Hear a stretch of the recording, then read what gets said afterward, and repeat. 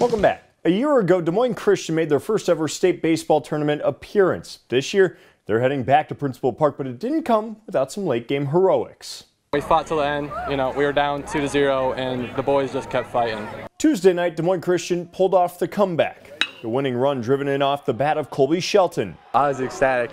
For the coolest moments of my life. Meanwhile, Cole Bradley cruised on the hill, thanks in large part to I sung the Eminem song till I collapsed over and over in my head, and it, you know, it worked out. All of that helped send the Lions to Principal Park for the second straight year. That makes the effort of this season worth it. We're just blessed to have the opportunity to play baseball, you know, coronavirus and everything. Um, most states don't get to do that. With all that, just the shortened practice for the season, just come to this point, made it all pay off, and I'm super excited. A year ago, Des Moines Christian fell in the state semifinals.